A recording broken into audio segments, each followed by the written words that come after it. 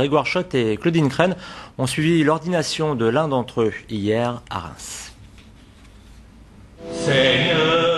Dans la cathédrale de Reims, l'instant est solennel. Paul Nguyen Ngoc Ai s'allonge en signe d'humilité et de disponibilité à Dieu. Quelques instants plus tard, il reçoit l'Esprit Saint des mains de l'archevêque. Le nouveau prêtre possède un parcours atypique. À son arrivée du Vietnam il y a cinq ans, il ne parlait pas un mot de français. Sa formation au séminaire de Lille et ses stages en paroisse ont porté leurs fruits. Pour moi, c'est ma fierté. Parce que depuis la construction de cette cathédrale, je suis seul un étranger qui est ordonné dans cette cathédrale.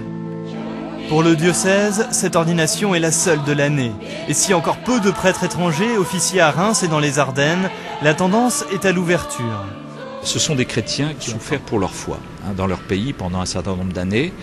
Et pour les choses évoluent largement maintenant, mais cela leur a donné une foi solide et profonde et il nous apporte beaucoup de conviction pour nous.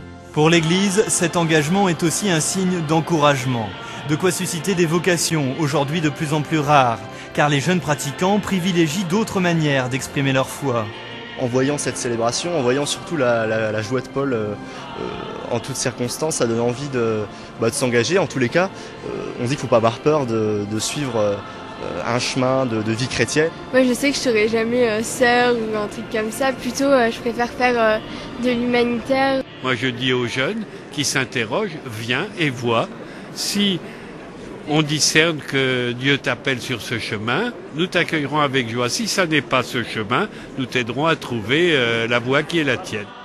Sur les 371 prêtres de la région, la moitié a plus de 75 ans. Mais le clergé s'efforce de croire en l'avenir et mise sur le dynamisme des chrétiens pour porter la parole de Dieu.